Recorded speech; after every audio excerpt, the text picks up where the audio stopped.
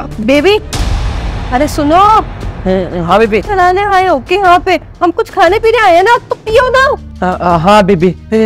ये क्या? ये यहाँ की स्पेशल ड्रिंक है और रुआवजा जैसी है लेकिन बहुत टेस्टी लगती है। तुम पी के देखो? अरे मैंने तो कभी ऐसी स्पेशल ड्रिंक देगी नहीं है। मैं आगे स्पेशल ड्रिंक ही पीता हूँ हर बार पर ऐसी स्पेशल ड्रिंक पहली बार आई है मेरे पास। हाँ क्योंकि अभी अभी बनी है। इन्होंने एक नया शेफ रखा है जो ना बाहर से आया आउट ऑफ़ इंडिया से इंडिया की बाहर का है वो। वो ना कुछ नई नई अतरंगी अतरंगी चीज़ें लेके आए तुम बकवास क्यों कर रहे हो? तुम पियो ना। अरे बेबी ऐसे कैसे तुम किसी भी बात पे विश्वास करके ऐसी ऐसी चीज़ें मंगाती रहती हो? ये नुकसान कर गई ना तो तबीयत बहुत खराब हो जाएगी मेरी।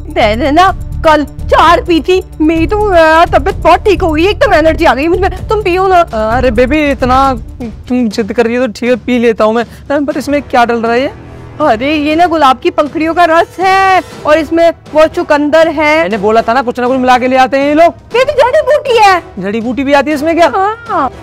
सेहत के लिए अच्छा होता है। तुम पियो। ठीक है ठीक है। पी लेता हूँ तुम भी पियो ना? हाँ मैं पी रही चलो। चेस। अरे सर रुकिए। ड्रिंक को मत पीजिए।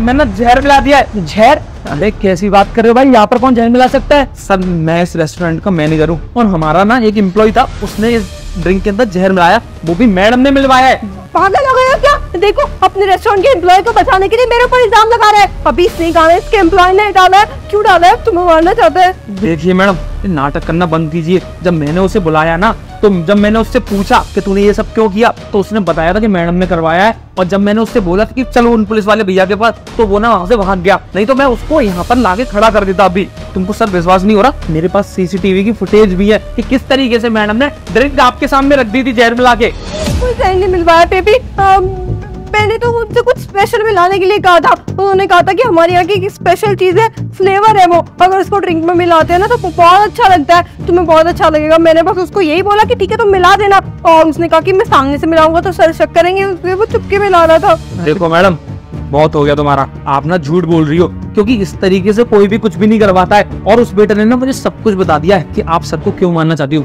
सर इनका ना अफेयर चल रहा है। अगर आपको मेरी बात का विश्वास नहीं हो रहा तो बोल दीजिए मैडम को कि ये ड्रिंक को पी ले।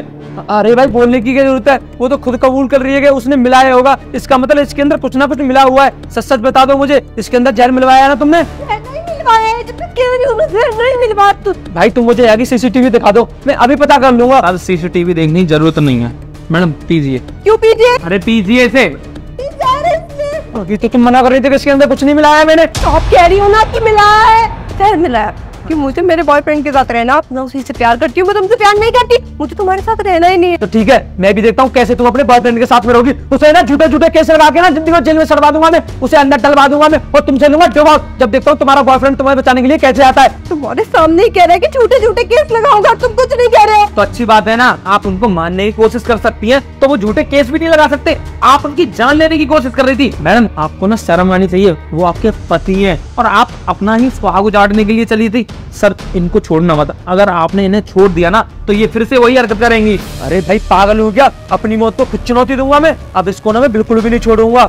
वो सीसीटीवी रिकॉर्डिंग लेके ना, तुम थाने आ जाना। या मुझे व्हाट्सअप कर देना। वो सबूत के लिए ना बहुत अच्छा काम करेंगी। अब इससे मैं यहाँ बात नहीं करूँगा। इससे मैं थाने ले जाके बात करूँगा। और इसके माँ बाप को भी वहीं पर बुलाऊँगा। उनको भी बताऊँगा इसके बारे में किस तरीके से मुझे जान से मारने की कोशिश कर रही है। और मेरे पीठ पीछे ना आपने आज की लड़ाती है। चल तू यहाँ से। चल!